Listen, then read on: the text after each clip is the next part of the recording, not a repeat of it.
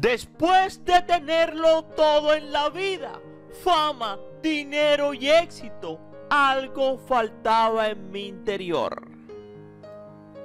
Y eso solo Dios me lo dio. Amor y paz. Se sentía completamente solo y solo Dios llenó ese vacío. Eso mismo siente y afirma en sus prédicas Manuel Capetillo esas mismas prédicas que desde entonces se han convertido en una constante en su vida. Así que se retiraría del mundo del espectáculo para llevar el mensaje de la palabra de Dios a otros que lo necesitasen. Desde niño había crecido emocionalmente enfermo. Sus padres se habían separado y el amor ausente habitaba en su corazón y su alma. Él sería quien más sufrió pues fue el primer hijo de la familia de Manuel Capetillo padre y de Sara de Flores, hija de la actriz Marilu Elizaga. Su madre se marchó cuando él solamente tenía cuatro años y se volverían a reencontrar 15 años después cuando él ya casi tenía 20. Aquella niñez difícil y sufrida, aquel divorcio que causó tanto dolor en Manuel, en Manuelito, haría que se convertiría en un tipo fuerte, tan fuerte que llegó a torear más de 50 toros. Una carrera de torero, de riesgo y de amor, por mantener el legado de su padre. Y no solamente en el arte taurino se destacó, sino que él, junto a sus otros hermanos, se dieron a conocer en los 80 y 90. Los hermanos Eduardo, Guillermo y por supuesto él, Manuel, eran referentes de la televisión latinoamericana, ya que gracias a su talento conquistaron al público con sus protagónicos en las telenovelas, en las que participaron como galanes. Cabe recordar que los tres hermanos son hijos del torero Manuel Capetillo, quien también incursionó como actor en cine y televisión y como cantante, habiendo heredado el encanto de su padre, Eduardo, Guillermo y Manuel fueron importantes galanes que se ganaron con pulso propio. Es estelar en telenovelas.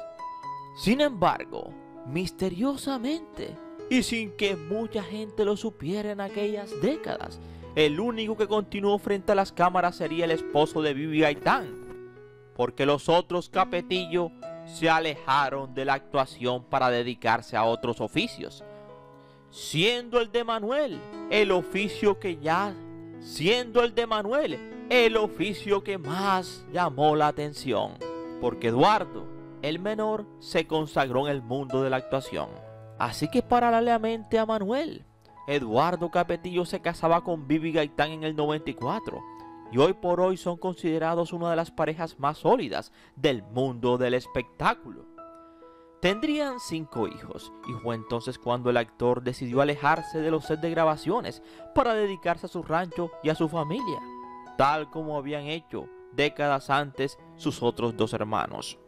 Sin embargo, recientemente ha vuelto a la actuación en series de Netflix como Donde hubo fuego.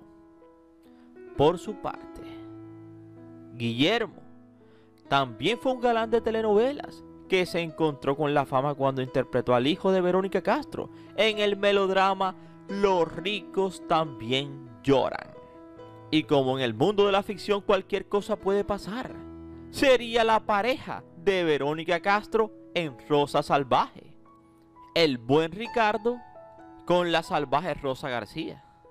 Pero bueno, siguió su carrera Guillermo en melodramas tan exitosos como Tres Mujeres, mañana es para siempre.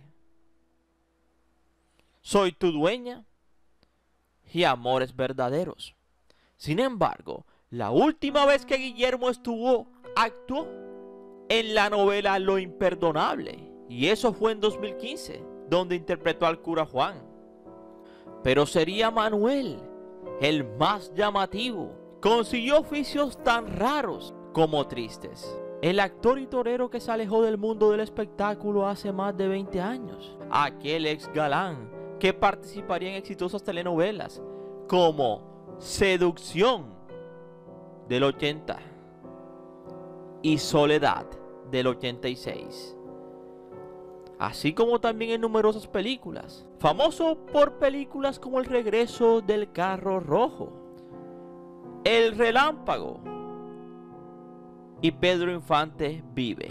Así que Manuel, de torero a actor y de actor a predicador, lleva el mensaje de Dios a todas partes. Ese mismo que le cambió la vida y que lo hace ser hoy en día un hombre totalmente entregado a Dios, junto a su familia, su mujer y sus hijos.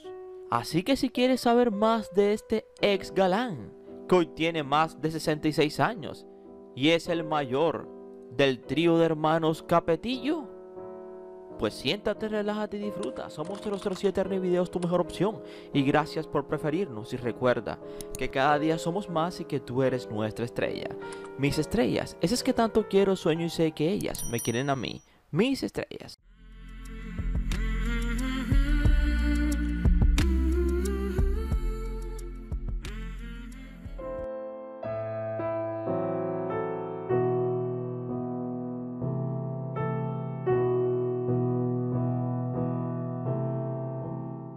De gran apostura y carisma, el patriarca de la familia Manuel Capetillo, nacido en 1926 en Guadalajara de Jalisco, en el seno de una familia acomodada, apasionado por la fiesta brava, tomó la alternativa en el año 49, cuando tenía 23 años, y desde entonces fue una figura resplandeciente en traje de luces, torero, torero, es torero, es torero, le gritaban. Llegando a ser llamado el mejor muletero del mundo en algún momento de la historia. Además, causó sensación como galán en los años de la época de oro del cine mexicano. Tenía enamoradas a borbotones. Su primera esposa sería, sin embargo, la modelo Sara de Flores, hija de la primera actriz Marilu Eligaza. Con ella tendría a Manuel en el 56 y a Guillermo en el 58, llevándose dos años de diferencia entre hermanos. Lamentablemente, un año después del nacimiento de Guillermo y cuatro después del nacimiento de Manuel empezaron los problemas y dificultades de pareja. Sara se fastidió de lo mujeriego que era don Manuel Capetillo y él se fastidió de que ella no fuese una mujer sumisa, entregada al hogar, como si lo fueron su madre y su abuela. Poco a poco las peleas, las desavenencias se iban haciendo mella en aquel hogar. No se aguantaron más y cuando Manuel tenía cuatro años, su madre, Sara, se fue de la casa, dejándolos abandonados al cuidado de su padre. Esa gran casa, esa gran finca, sería como un claustro donde muchas veces no existía el amor. ¿Pasaría esa niñez durante largos periodos de soledad? Pues su padre trabajaba y se iba. Y él quedaba al cuidado junto a su hermano de una niñera. Era literalmente una jaula de oro, grande y bonita, pero totalmente sola. Sin embargo, don Manuel siguió su vida de mujeriego ya divorciado de Sara de Flores, la madre de Manuel y Guillermo.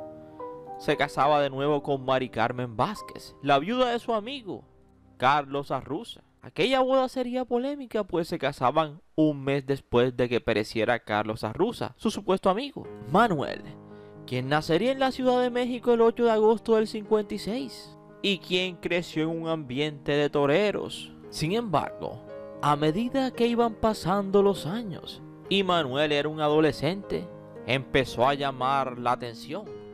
No solamente porque era el mayor de los hijos del torero, del gran Manuel, Manuel Capetillo padre, sino por su talento, al igual que él a la hora de torear.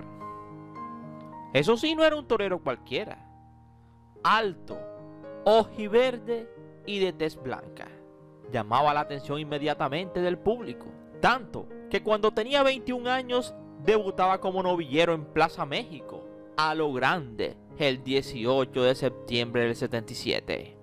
Y una vez más empezó a oír Torero, es torero, es torero Manuel Capetillo Jr., el orgullo de su padre.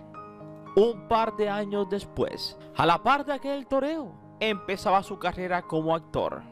Aparecería en telenovelas como Seducción, aunque no haciendo el papel principal, apareció en el reparto. También en Amor Ajeno, novela protagonizada por Ramón Pons. Y en el 84 también lo vimos en la película El Judicial, otra vez de reparto.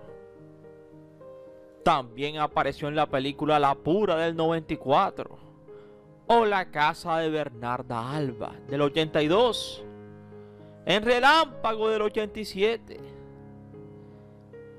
En La Noche de Califas del 87 también. En la supernovela Seducción del 86 al lado de Maribel Guardia y Leonardo Daniela y aparecía de nuevo una vez más Manuel Capetillo Jr. En los 90 apareció en Pedro Infante Vive en el 91. En Amnesia del 89 también lo vimos. Como siempre, sería uno de los primeros papeles que hizo de galán en Amnesia del 89. Y también protagonizó la película Los fantasmas que aman demasiado del 87. Sin embargo, a pesar de que tenía más de 30 años, a pesar de que tenía dinero, a pesar de que tenía fama y mucho éxito, en su corazón todavía quedaban viejas heridas del pasado. Soledades, vacíos, y sobre todo la pérdida de un gran amigo cercano. Llevarían a este famoso actor a replantear toda su existencia. Pero sería el rapto y posterior fenecimiento de su mejor amigo que lo hizo puntualmente tocar fondo en una crisis depresiva. Largos lagos de soledad habitaban en su corazón. Se refugió en la esotería, tratando de hallar respuestas y el camino para seguir en la vida. Sin embargo, le fue peor, el vacío se hacía más grande. Un día lo invitaron a una iglesia. Le contaron del amor del Señor Jesucristo y de la misericordia que Él da. Dispuso su corazón y recapacitó sobre todo lo que había hecho en la vida.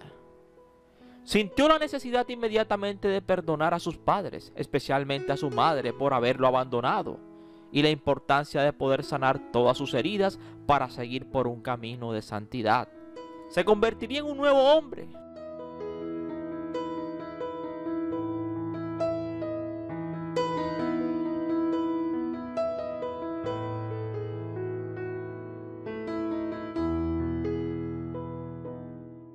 En cuanto a su vida personal, Manuel puede darse el lujo de decir que fue novio de Lucía Méndez. Sí, de la hermosa Lucía, la estrella de los 80. Fueron pareja, incluso se enamoraban durante un largo periodo de tiempo, luego peleaban por otro largo periodo de tiempo y luego se reconciliaban. Y así lo hicieron un par de veces. Pero debido al trabajo de ambos, al alejamiento por largos periodos, aquel amor se fue disolviendo. Total, en los 90 Manuel no solamente encontró el amor en la palabra de Dios y en buscar a Dios, sino también el amor personal. Se casó y tuvo un hijo. Eso sí, poco se sabe de su esposa y de su hijo. Solo se conocen las fotos en las que asistieron todos los capetillos al funeral de Manuel, de Manuel Capetillo padre. Así que hoy en día Manuel Capetillo Jr. no llena teatros para alguna obra en la cual participa, sino para predicar la palabra de Dios. Es un consagrado, conferencista y predicador que le ha dado la vuelta al mundo predicando de Dios y del cambio. Invita a todos a hacer una imitación de Cristo. Así que atrás quedarían aquellos años de éxito de telenovelas de mujeres Ahora es un tipo totalmente entregado a dar conferencias y a dar su testimonio de cómo le cambió la vida el Señor Jesucristo. Manuel, el mayor de los capetillos. Así que hoy a sus más de 66 años, Manuel es un apóstol, donde da su testimonio alrededor del mundo y a quien quiere escucharlo, de cómo Dios le cambió su vida. Y ahora es un hombre que perdonó, vive tranquilo, feliz y como misionero predicando de Dios. Y esperamos que te haya gustado este interesante video, no sin antes decirte gracias por preferirnos y recuerda que cada día somos más y que tú eres nuestra estrella. Mis estrellas, esas que tanto quiero, sueño y sé que ellas me quieren a mí. Mis estrellas.